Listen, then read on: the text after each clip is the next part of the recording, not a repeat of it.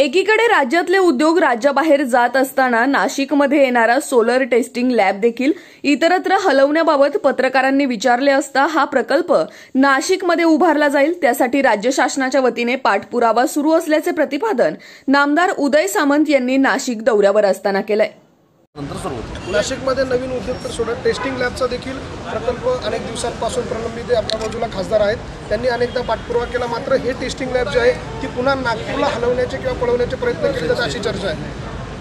Taste हा पंधरा म्हणजे सुरू होईल. आपल्याला जी कोणी सूत्रांनी माहिती दिलेली आहे ती